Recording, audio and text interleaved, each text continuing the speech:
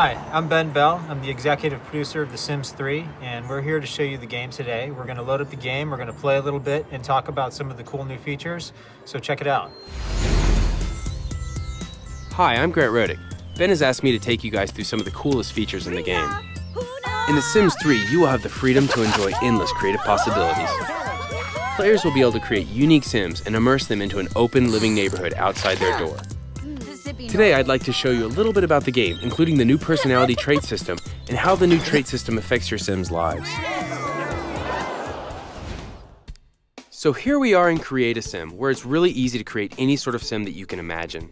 In The Sims 3, you can create different age groups, including toddlers, kids, teens, young adults, adults, and elders. You can alter your Sim's body shape.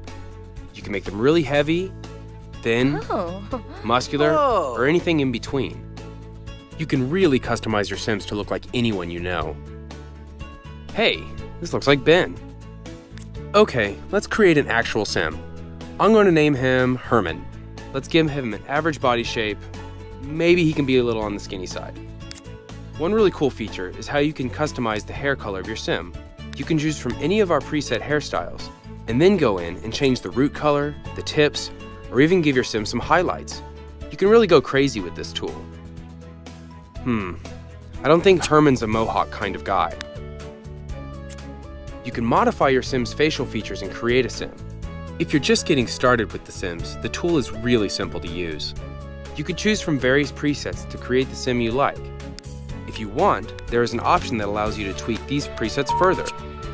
It's easy to create just the look you want. Alright, let's pick some outfits. Whoa. Uh, maybe not. Ah. There, that's what I wanted. So our Sims look great, but what about their personality traits? In The Sims 3, we wanted to give you the Oh. ability to really define the personalities of your Sims. In this menu, you could see that we've come up with dozens and dozens of traits that can be combined to create over 1 million truly unique Sims. Each Sim is defined by up to 5 traits. I've made Herman brave, but clumsy. Whoa! Oh. He loves the outdoors, he's a vegetarian, and a bit hot-headed. Let's give Herman a roommate. We'll name him Arnie. He's a conversationalist, ambitious, materialistic, a schmoozer, and a party animal. Our last step is selecting a lifetime wish for our Sims. Arnie wants to rule the free world. Later, we'll see how these lifetime wishes will present challenges for both short term and long term gameplay. Now we're ready to place them in our neighborhood, Sunset Valley. Let's check out this new neighborhood and find a home for Herman and Arnie. Map tags mark points of interest such as workplaces, places to go hang out, and homes of friends and family. More map tags will fill in as your Sims meet their neighbors and discover new places to visit. You can choose where you want your Sims to live, whether it's a rustic home along the cliffs or a modern home nestled in suburbia. Remember, you could build a new home on an empty lot, take control of an existing family that we've created, or move into one of the many cool houses in Sunset Valley. I've always wanted to live by the beach. Let's move Herman and Arnie here. Arnie has a lifetime wish to become the leader of the free world. Because of that wish, a new goal for Arnie has just appeared. He wants to throw a campaign fundraising ah, party. This will be a good time to connect with his new neighbors and do a little bit of networking, which could definitely help him in his political career. You could choose to ignore any wish or promise it to your sim. Along with their lifetime wish, these wishes are influenced by your sim's personality traits, their career, their skills, or what's going on in their environment. If you fulfill a promised wish, they gain lifetime happiness points that you could spend on lifetime rewards that help you out in the game. You could eventually buy rewards like the steel bladder so that your sim never has to use the bathroom again. There are many, many other rewards to choose from as well. These wishes and rewards are an all new goal system that gives you more control over your sim's destiny. The party really seems to be jumping.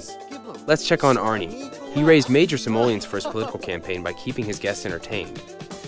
As for the hot headed Herman, all this political chatter has really put him in a bad mood. And worse, a wealthy widow has been hitting on him all night. Zawa to me. In The Sims 3, your Sims can now take care of their own basic needs, allowing you more time to focus on achieving bigger things in life, or to just goof around. Arnie's chasing his political dream, and now he's headed to work at City Hall. Herman is going to ride his bike into town. He's still a little miffed about his roommate's political opinions.